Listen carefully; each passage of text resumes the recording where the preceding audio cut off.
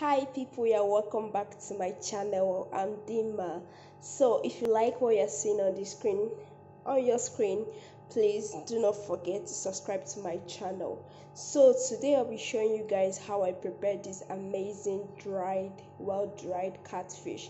So this is the way, this is how you can prepare your own dried fish at home, your own dried catfish at home. Catfish in this house is like everyday thing i literally use it to make every kind of dishes in this house. So i i really love to have them at home always. I really love to have them. So this is how um i prepare mine.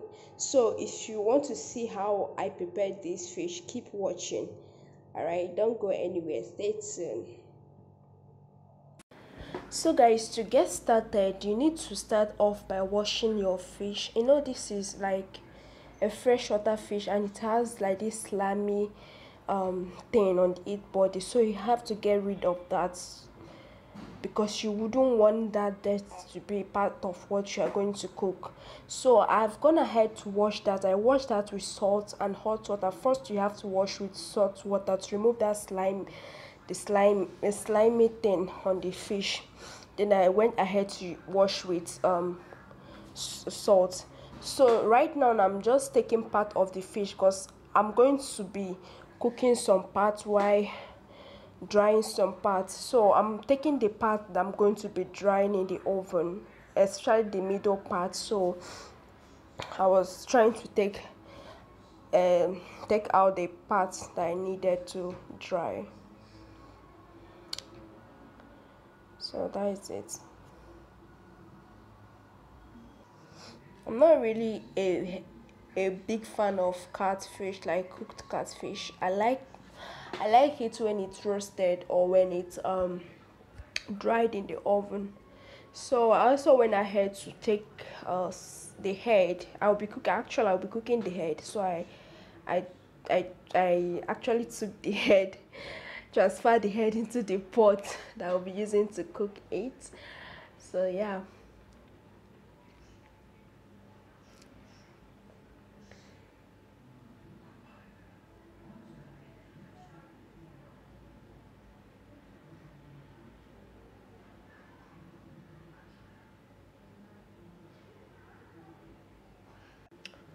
So um for this fish I'll be drying this in the oven for I think for about four to three to four hours.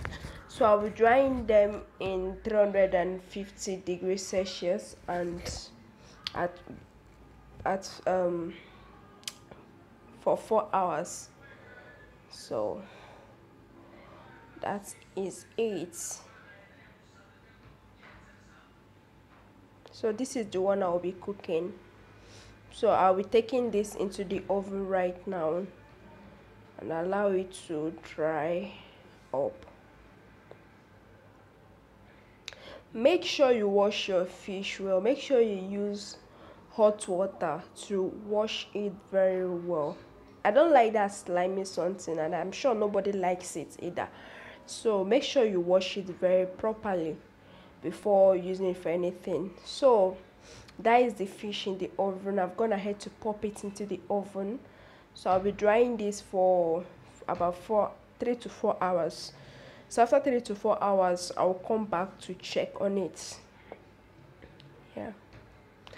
So this is the one i'll be cooking. I've gone ahead to add some of the condiments i'll be using. Inside there is curry powder this um, uh, meat spice some um, pepper soup, catfish pepper soup spice is also in the pot and um, yeah just keep watching. I'll be adding in the ingredients one after the other. That is the herb the mixed herbal spice. I've added the thyme. I've added the onions and some salt for taste.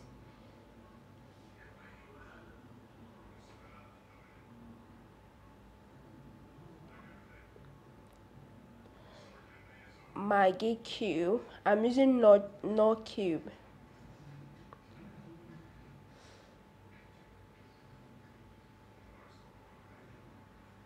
So the Maggi cube will dissolve inside.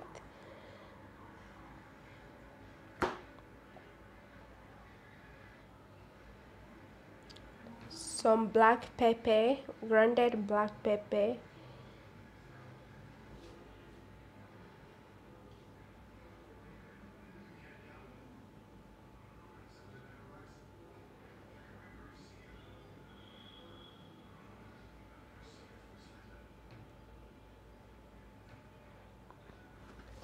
red um, paprika. Or red chili whichever one you call it so I'm adding that much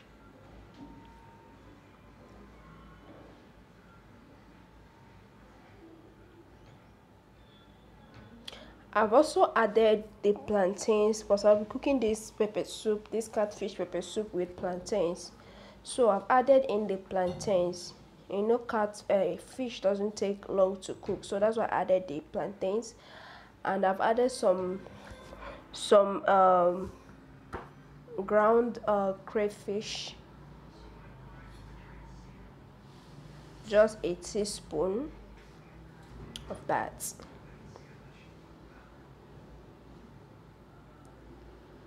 And I'll be adding in I'll be going in with the water. I'm, I'm using hot water. The water wasn't enough so I'll be adding extra extra cold water. You can use either cold or hot water whichever one you prefer so that is just it. That is basically it. This catfish pepper soup is very easy to cook and it doesn't take time. Something that you can cook sharply sharply. So yeah guys you can see the fish is doing well. It's done already. It's really tastes great.